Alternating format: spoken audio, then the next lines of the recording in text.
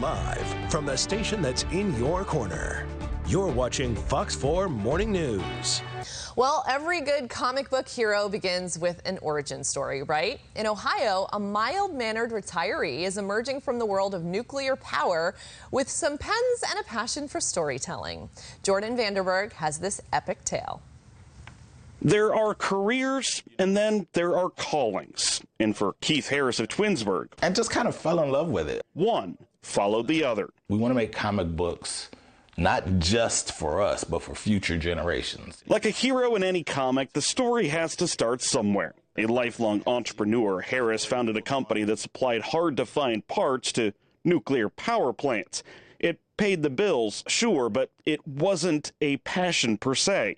His retirement didn't last long. When I actually stepped away from that, I had no clue life was so boring. Uh, when you don't have anything in particular to do. Even before Harris was an entrepreneur, he had an obsession comic books. At the advice of his wife, I'm not an artist. I can't draw a straight line. he finally put pen and plan to paper. I grew up a kid in East Cleveland buying comic books. Never had a comic book with a character anywhere in the area that I knew of. FutureGen Comics went from a sketch to a startup. Harris has brought on a team of artists, mostly from Northeast Ohio, and began creating a universe of tightly woven storylines. Now we really feel we have a dream team of artists and writers, and we're we're ready to break out. Here's the plot twist, though. FutureGen Comics doesn't produce actual comic books. Instead, they're digital. And in some cases, FutureGen will develop comic books and characters for other people. One of their first clients, They have a gallery of artwork in their offices. the LeBron James Family Foundation. I kind of wanted a, a superhero for kids who grew up like I grew up in the inner city.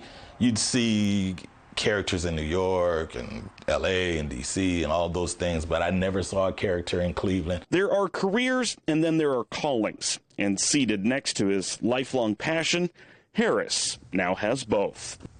And Mr. Harris says he's planning for what he hopes is an in person launch of FutureGen Comics in August. I love that he's following his passion, and you know what? It's never too old to switch things up. I, I keep hearing that, and as I get older, I'm like, oh, really? I, I think I'm just going to keep doing weather for a little while. Well, you're really good at it, and it's your passion, so stick with it. Well, so far, so good.